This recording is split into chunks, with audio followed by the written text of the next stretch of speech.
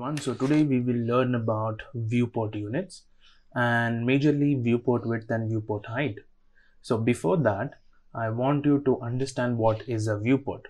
So in simple terms, the visible portion of the screen is called as viewport. For example, here you can see that there is a browser and you can see this window with a white background. This is my viewport. At any point of time, if I decrease the screen size, for example, okay, this is my viewport. Okay, this small rectangle is my viewport. So I hope viewport is very clear. And from the left point till the right point, what we call as width in general is viewport width. And top to bottom or bottom to top is called as viewport height. So if I decrease now, this will be the viewport width and this will be the viewport height. That is it. So let me just start off with H1. And I'm going to tell this is let us learn VW and VH. VW means viewport width and VH means viewport height. Okay. And then in style.css, I have reset everything. I haven't used um, box sizing uh, because I think here we are not going to use margin and padding much, so it's not needed.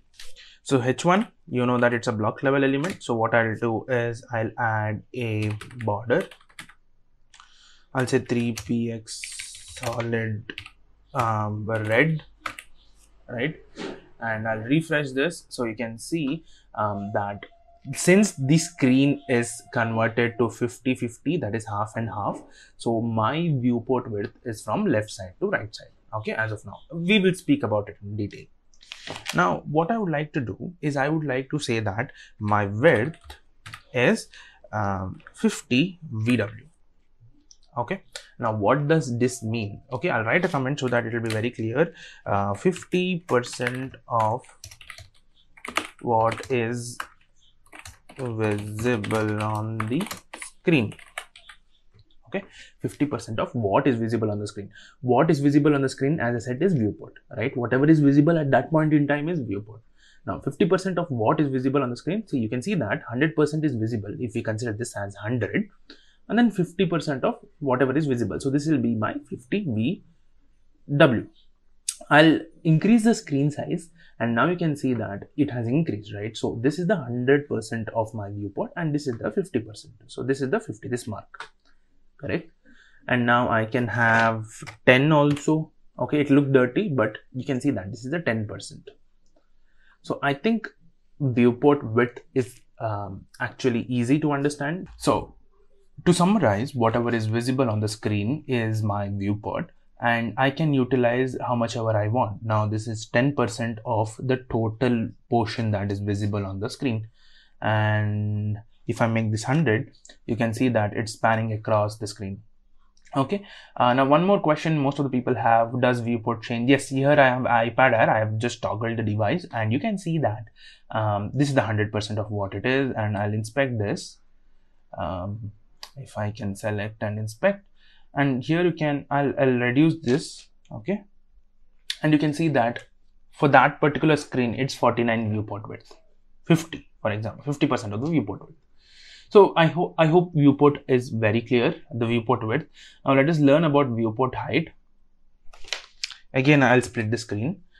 Now viewport height is also simple. For that what i will do is i'll comment this part I'll tell you a real use case when do we use it. So to give a better design, what we usually do is um, you can use section, but I'll use div and I'll have class as one and I'll write this is first part and then I'll copy this I'll write 2 over here TWO and I'm going to write this is the second part. Okay? As of now you cannot see anything but we'll use the styling. So i'm going to target the class name respective one and i'm going to give a background color of wheat. You can give any background color you want. So you can see that the first part is wheat and the second one too i'll give a background color of uh, i don't know blue. Looks dirty but that is fine as of now for the demonstration part. And let me also give color so that you can see the um, font right? Color is white. But here i want to put up a very interesting point that let us say 100 vh is equal to 100 percent of what is visible on the screen right? So i'm going to say height is 100 vh so you can see that this will increase massively. And at this point of time 100 vh is uh, from the top to bottom this is 100 vh okay? 100 percent of what is visible on the screen. And the same thing i'm going to add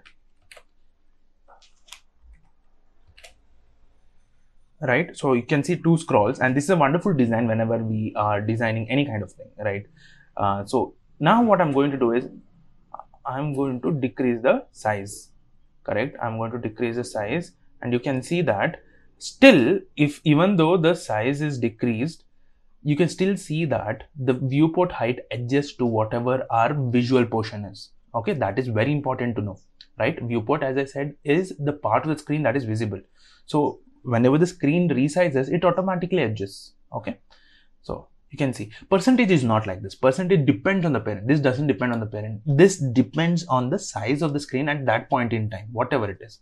So if you ask me if i uh, switch on the device toggle and let me just choose iphone 12 pro you can see that 100% of what is visible the width and the height it gets automatically adjusted right?